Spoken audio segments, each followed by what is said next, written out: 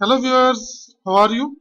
This is Asghar Ali with website designing software and we are using HTML which is hypertext markup language and here we are in lecture number 9. In this lecture I will show you how to create a button in form field and how to create text area and reset button and other form events. First of all, I will write again. I enter and now here I write input type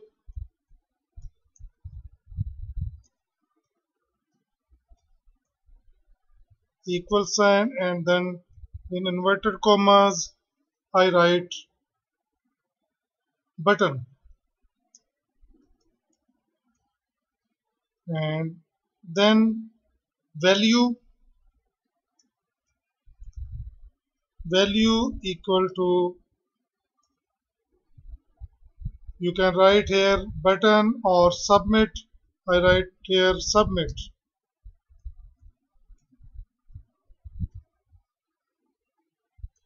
Now I copy this line again. And here I paste and now I write here button. Now here reset. And likewise you can write here OK. And then cancel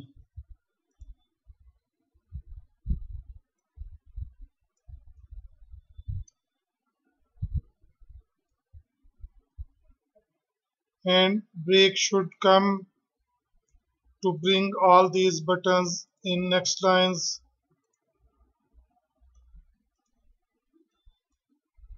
And now I save this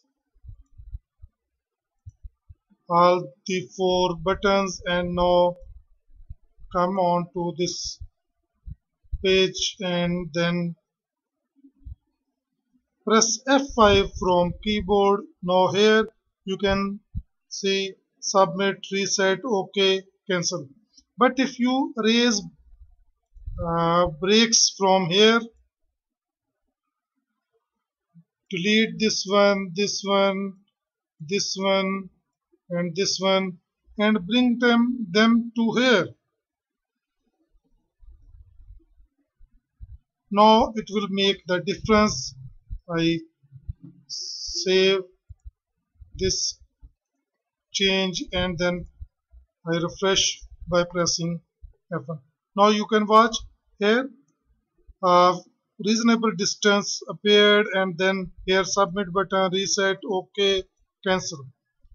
Now if you want to create some text area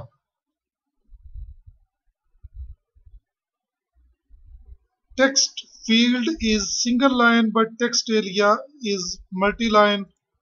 We can create some text area. For that purpose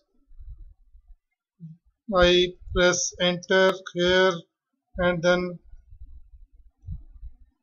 after inserting two breaks I write here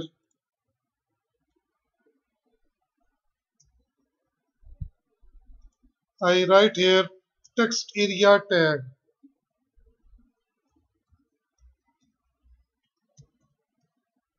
And here we will have to show its rows and columns. Rows in inverted commas 10 and cols in inverted commas again 30 you can give value of your own choice. Now I close this one and come to next area. I close text area.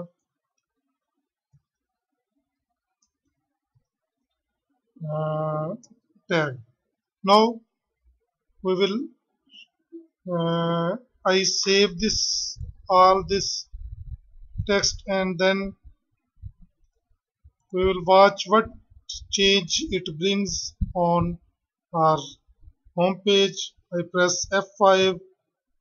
Here a text area appeared below these buttons and if I write here you can watch here is no scroll bar but when you write here different lines and you go your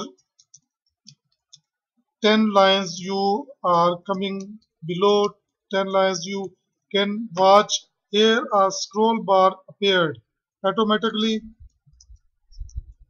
and in this way you can create a text area here. I hope you have enjoyed this one, this lecture. Thank you very much.